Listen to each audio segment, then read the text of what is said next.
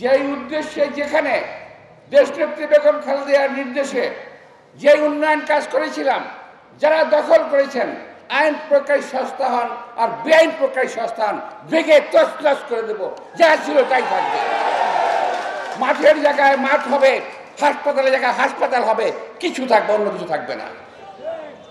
যদি প্রয়োজন কিছু থাকে, নতুন করে করব, কিন্তু পুরনো কোনো জিনিস আমরা হাত দেব না। আমাদের জায়গা বাচ্চাদের খেলার মাঠ দখল করে কোয়ার্টার করেছেন। সেই কোয়ার্টার থাকবে না ওখানে। বাচ্চাদের হাত দিয়ে ভেঙে ফেলব। বাচ্চারা ফুটবল দিয়ে হাত করে ভাঙবে।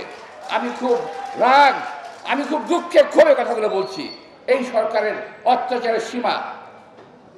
বয়স্ক মানুষ থেকে বাচ্চা পর্যন্ত চলে গেছে। বাচ্চাদের খেলার মাঠগুলো রাখার নেই আপনারা। বাচ্চারা খেলার নাম জায়গায় জায়গা পায় না। বাচ্চারা ঘরের মধ্যে থেকে ফার্মের বাচ্চার মতো হয়ে যাচ্ছে। এটা কি? এটা কি সরকার দেখার বিষয় না?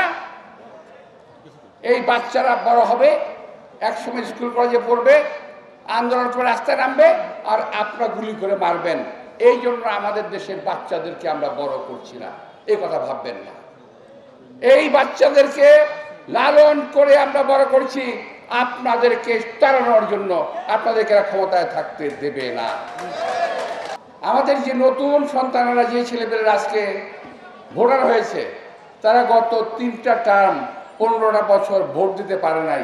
আমি যদি বলি, ওরা যে ভোটের জন্য লাফালাফি করতেছ, ভোটটা কি জিনিস? এটা গোল না লম্বা? বলতেই পারবে না। পারবা বলতে? ভোটটা দেখতে কেমন? জানো না। এখন বাংলাদেশের লোক ভোট দেওয়া ভুলে গেছে।